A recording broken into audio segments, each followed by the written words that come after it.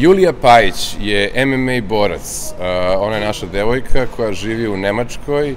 Julija, molim te reci mi, uh, jedna tako prelepa devojka, kako dođe na ideju da postane MMA borac? Pa ima to velika storija, ali ja ću to na kratkom da, da, da kažem.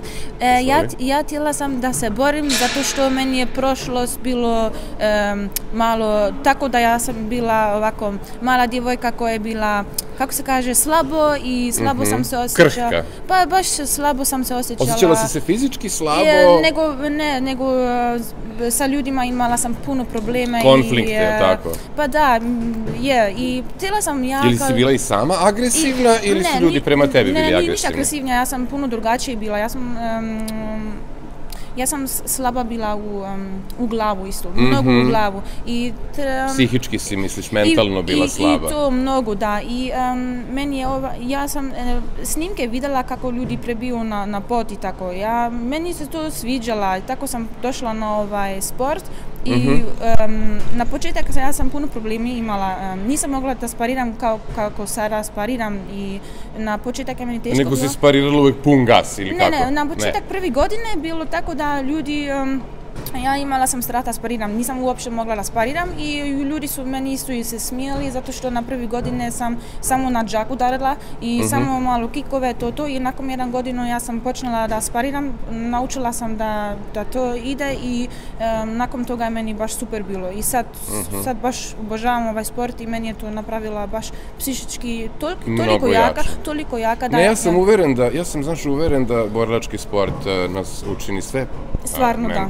E, to je stvarno nevjerovatno. Stvarno to je u glavu, puno radi to sa glavom i puno, puno meni to jaka napravila psihički i ovaj, i to sve, i sparing je, zato što ne radim to samo treninge, zato što volim i od početak prvi dan ja sam htjela da ovaj sport radim zato što htjela sam u kave da se borim.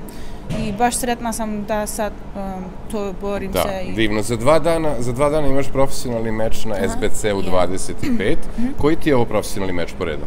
E šta znači po redu? Kao, koliko si već imala mečeva pre Aha, imala sam jedan K1 e, stand-up i mhm. jednu MMA profi. Borbu i ovo ti je znači druga MMA profi To mi je sad druga profi MMA borba, jeste.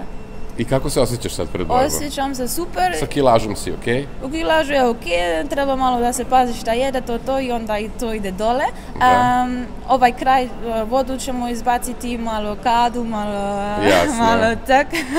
da li jedva čekaš da počne u subotu meč? jedva čekam, nek dolazi sad ovu, evo.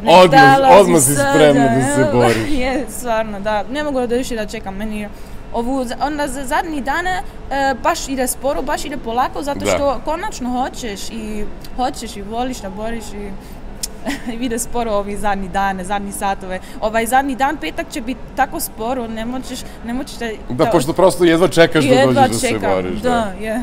Julija, hvala ti puno, želim ti puno sreće u ovom meču i, u tvojoj daljoj karijeri. Hvala. Divna si, hvala ti puno. Hvala. Hvala. Obrigado.